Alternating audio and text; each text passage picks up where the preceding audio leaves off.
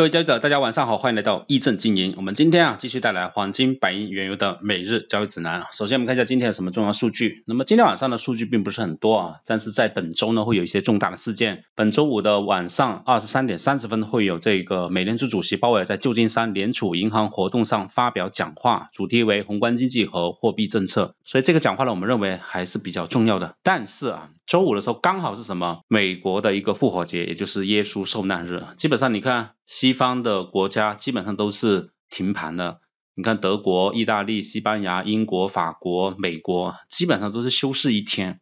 所以周五呢刚好碰到这个美联储主席讲话，也没有什么行情啊，基本上这个平台也会休市，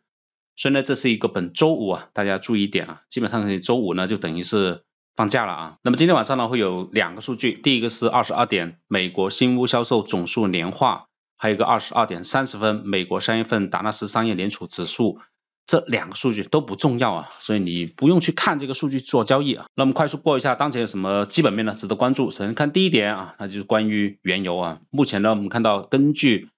ICE 和 CFTC 提交的持仓报告啊，截止三月十九号的一周里面啊，对冲基金和其他基金经理在石油价格挂钩的。六种最重要的期货和期权合约上净买入了相当于一点四亿桶的一个石油，也就是说机构啊在大势面积的去布局这个石油，有迹象表明呢，机构投资者眼下正以四年最快的速度啊购买石油，因为他们乐观的认为啊，沙特及欧佩克盟友将继续维持限产的政策，同时经济前景的改善将提振能源的一个消费。所以这个油价呢，现在机构啊已经开始去压住啊买涨，所有的石油啊，这个基金经理啊几乎全线买入啊，仅美国柴油净值持仓呢基本没有变化，而且这个油价呢不要觉得很高啊，并不是很高啊，经过通胀调整后的原油价格几乎与本世纪初以来长期平均水平完全一致，也就是说这个机构啊或者说基金认为啊现在的油价被低估了啊，未来还有比较好的一个空间。那么这个消息对我们做原油有什么影响呢？首先第一点啊。它能够保证了这个油价的未来不怎么去大跌啊，因为这些是杠杆的，你看期货和期权是带杠杆的，一旦有暴跌的话，这些基金就会被强平，会爆仓啊，所以有这个兜底的一个需求。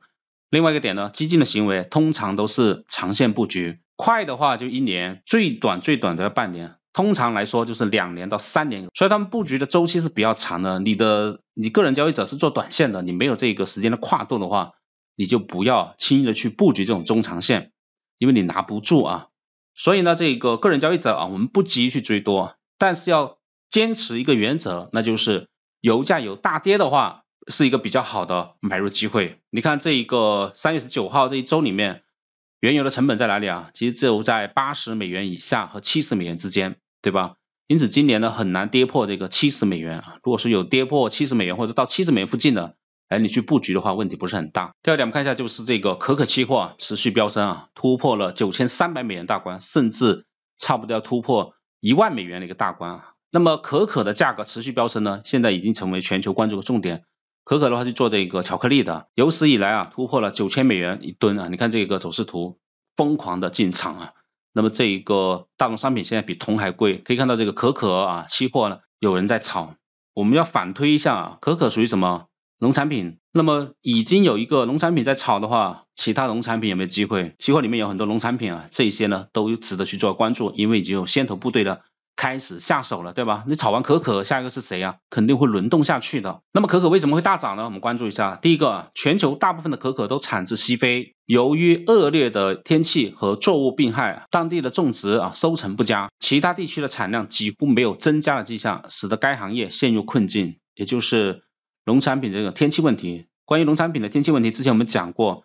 在去年不是有这个厄尼诺现象嘛，对吧？那么这个效应的话，过去没有，也还没有过去，对吧？你看今年会不会特别的热呢？冬天的时候特别冷，对吧？那么今年会不会特别热？如果说再特别热，再加上干旱的话，这个农产品的。投资机会就会非常的多啊，所以大家关注一下。有的朋友说想去做这个可可期货啊，如果说你想做的话，咱们这边有平台是可以去炒这个可可期货的。比如说这一波暴涨以后，什么位置会下跌啊？什么位置敢不敢去布局这个空单？那么你就可以去做了啊。那么国内目前是没有开通可可期货的，想要做可可期货的朋友，等待这种做空的机会，因为因为一旦它真的跌下来的话，会跌得非常非常的凶啊。想做的朋友呢，可以先开个户啊。盯着这个品种呢，后期我们再做一个指点。同时呢，这个可可啊，也受到这个欧盟零毁零法案，今年年底呢会生效啊。而可可呢，就是其限制中的七种，可以看到它是年底生效，对吧？你就意味着什么？意味着可可呢很可能会炒到年中，到年中的时候，那快接近年底，就是消息落实的时候，反而会掉头向下。那么可可呢，目前根据我们的法则啊，主要关注的阻力位是在一万两千七百三十九。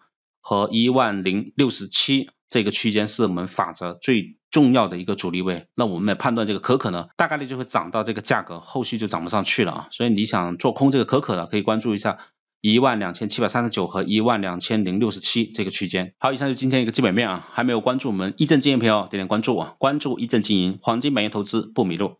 下面进行技术分析啊，我们用 K 线法的交易系统啊，给大家做个解盘啊。很多朋友想要加入我们的会员啊，其实加我们的会员基本上是免费的啊，你只需要在指定的平台开个户入金，达标了就可以成为我们的会员啊，我们就可以把这个 K 线法的交易系统呢，给你去做一个学习。那加我们的会员呢，不是单纯的一个提供实盘的一个指导，而是我们会让你先学这个课程，掌握了一套法则，掌握这个技术。然后我们的实盘呢是完全根据这套技术啊去做一个指导的，也就是说我们会边指导边让你去掌握这个技术，最终呢能够实现你自己啊主动交易，最终实现你自己啊能够独立交易啊，这是我们的终极目标。我们始终认为啊，单纯的靠喊单呢是很难实现。长期稳定的一个盈利。我们看一下今天的市场投情绪。那么今天呢，我们看到美元的看涨情绪百分之三十六点六，看跌情绪百分之六十三点四零啊。可以看到这个美元呢上涨的情绪啊发生改变啊，普遍来说就是偏弱为主啊。整体看涨这个美元的动能呢不是特别的足了，有减缓的迹象。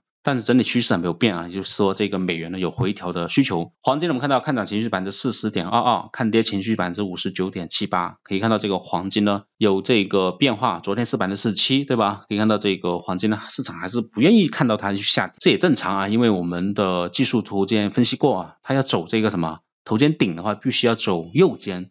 右肩就是一个横盘的迹象。下面看一下技术图。我们首先看一下黄金啊，黄金在神物图里面呢，根据我们的法则啊，它现在已经突破了第一阶段的法则啊，理论上会涨到多少呢？涨到二幺九六九三九八这三个价格。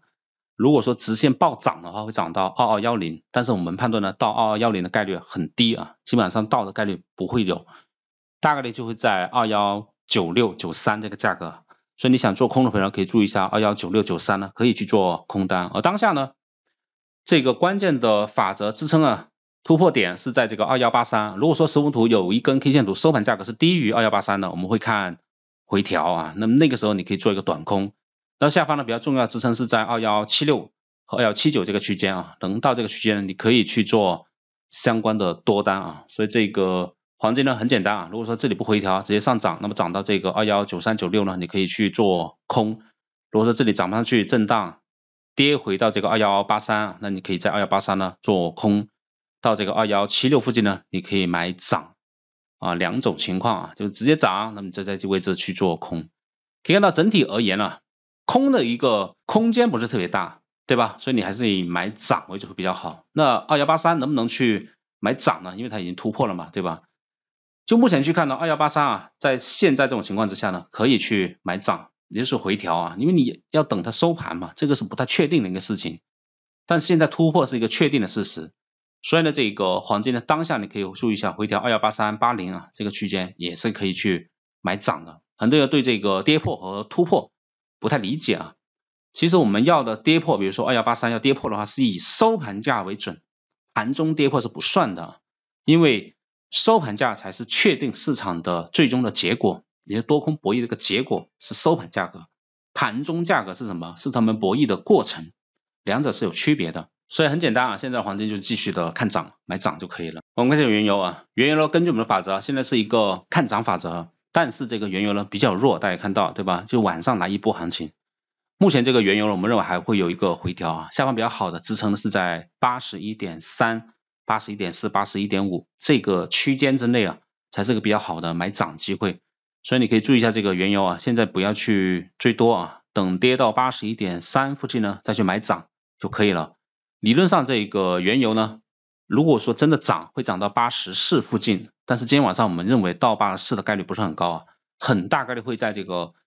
八十一和这个八十三之间呢做一个震荡啊，这是一个原油，就很大概率会在这个区间里面做一个震荡，走这种行情的概率会高一点。这个原油呢，只有有效的跌穿八十点九五啊，才可能看暴跌。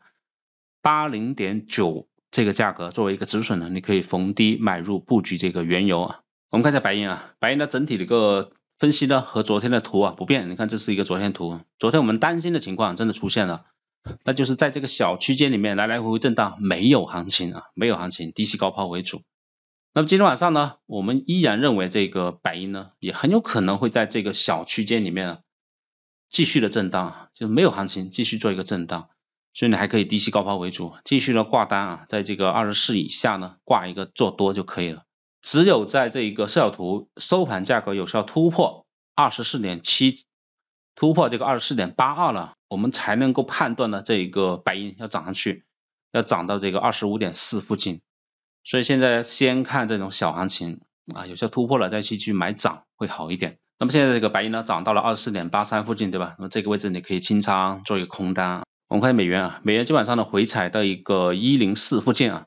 那我们的今晚上这个美元呢跌破一零四的概率不是很高啊，一零四的概率，在这个一零四呢很可能会有个反弹，在这个区间里面做个震荡，因为它还没有摸到这个核心的阻力位。如果说今天晚上它再没有摸到有效的阻力位，而直接跌穿一零四的话，那这个美元呢，我们认为后期就会下跌了。为什么呢？因为你的强度理论上要去到的嘛，一零四点七，但是你到不了，说明多头不够强，不够强的情况下还破位了，那就表示这一波上涨的结束了。只要它不破这个一零四，那我们认为这个美元就还没有结束，还要再去摸一下这个核心阻力位